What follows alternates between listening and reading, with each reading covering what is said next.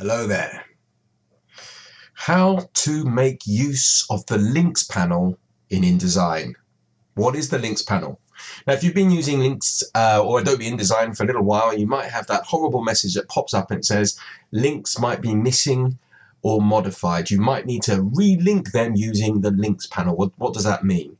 Well, the links panel is a very handy panel. If you can make good use of it, it can really help you when you want to swap or you want to change images. So I've got a document just here. It's a number of different pages, uh, lots of pictures. Um, there's a grouped document here at the top. Uh, some of this here I've got difficulty access some of these pictures, accessing some of these pictures here. So the links panel can really help you if you want to swap images in or out, etc. Uh, you can also use them to select the images. So how do you do it? Well, first thing we're going to do is just going to go to the links window. So there we go. So up to the top here, we can click on the window uh, menu just at the top there. So there we go. Oops. There we go. So click on the window. We're going to go down to, and we're going to click on links. And here's links over here on the right hand side.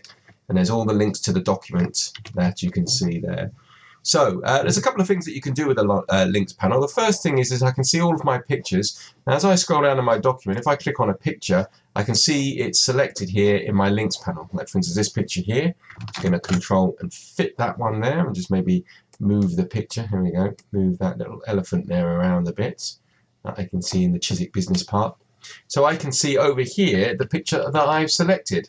This uh, long date type file name that's automatically given because I've taken it with my uh, mobile phone there. That's so uh, that's on page two. Now say for instance I'm going down here and I just want to see more of the pictures. I'll tell you what I'm going to do. I'm going to go and click on this panel options menu just at the top here.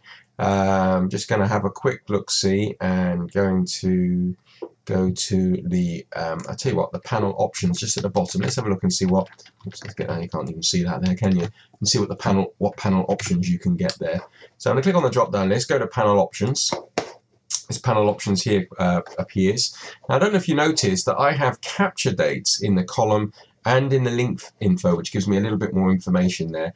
I can go down, scroll down and choose a different type of, if I want to see the formats, uh, if I want to see the creator in the column. Depending on the size of the screen, you can decide what you want to do there. So I can go up and I've clicked capture dates.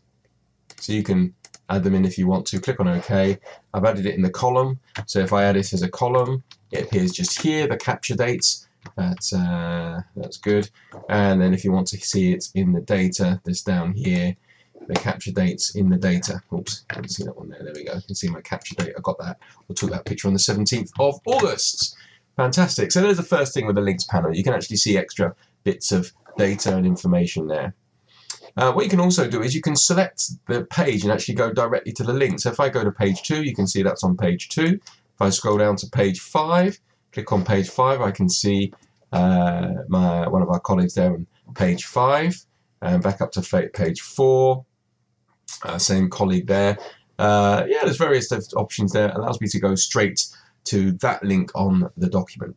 So far, so good. The links panel is also great for the extra bits of information. So, for instance, this one's an older picture, but if I just scroll this down a little bit, you'll see all of the type of information you can get. There we go. If you're holding Fist in Victory cropped, it's a Photoshop file. I can see then it's a Photoshop file there.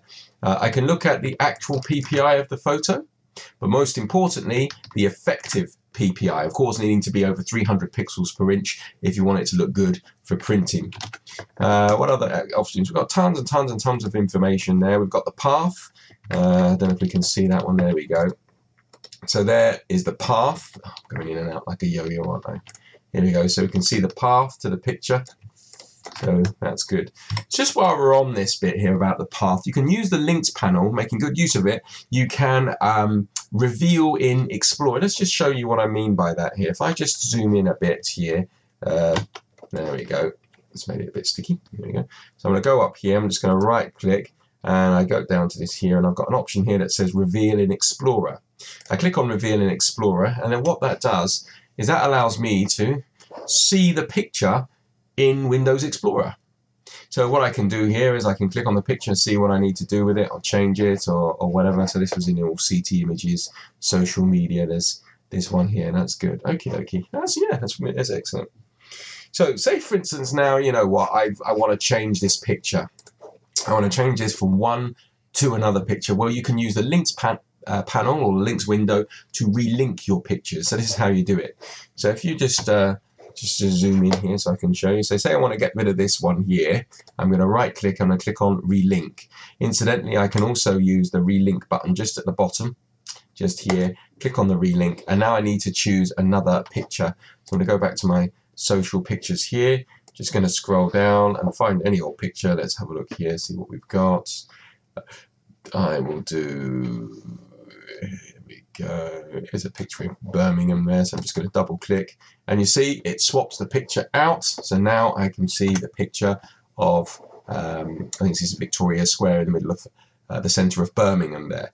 So you can re-link your pictures there with the uh, links panel. In fact, if there's any pictures that are wrong, say for instance you get that horrid, you know you've seen this one, you see that hazard warning sign and some of the pictures are missing and or modified, then you can go there and you can update the pictures. And what's more is if InDesign finds a number of other missing photos or pictures within the same folder, it will update them all. Fantastic. There we go. I think that's about it with the links panel. There's a lot, uh, you know, there's a lot to it. You don't want to sort of skim over it, but it's something that's um, absolutely worthwhile uh, to to go, you know, to go into seeing the file details, etc as well. Uh, you can go to the link as well if you need to on this button here, but I just find by just clicking the page number it will take you straight uh, to the link there. That's good. One last thing, actually talking about the editing the picture. Say for instance I've got this picture, you know, that's great. I just want to edit it. There's a little bit of a weird thing going on. I've got some sort of mask going on. So I'm going to right click and I can just go edit with and choose Adobe Photoshop. And then it will open that picture up in Adobe Photoshop and I'll be able to edit uh, the picture, save it, and bring it back in to InDesign. So I can edit it directly if I want to. So I suppose you could reveal it in Explorer, or you can edit it directly in Adobe Photoshop. So there we go. So Adobe Photoshop's opened. It's opened up on my uh, second screen here. So if I just double, just, just let me just see if I can drag that across, and can I just drag this across so people can see it? Here we go. No, maybe not. Oh, Yes, I can. I thought, there you go. Do you see the one I've got like, like a mask thing going on here? So if I wanted to, I can go to the mask and I can just you know, go to the brush here. Uh, if I just move myself up in the way, see my brush colours, there we go. And then I can start to paint stuff, paint some of feet back in, there we go. And then what I would do is I go to File and Save, and then go back and then you can see the picture updated. There we go, close that picture down come back in, and eventually you'll see the picture just update. There you go, just a little bit there. Um, yeah, fine, brilliant. So that's about it with the links panel. So make good use of it. Of course, you can, like any panel, you can detach it and you can drag it down to the bottom here, or you can move it around a little bit and have it on its own. Uh, just make sure you've got these little little triangle just at the bottom here. Allows you to see just more options. Just make sure you have that triangle tick there. That's good. So keep uh, an eye out for further InDesign videos. If you haven't already subscribed, please subscribe. Give us a thumbs up if you've got anything out of this video. And thanks for watching.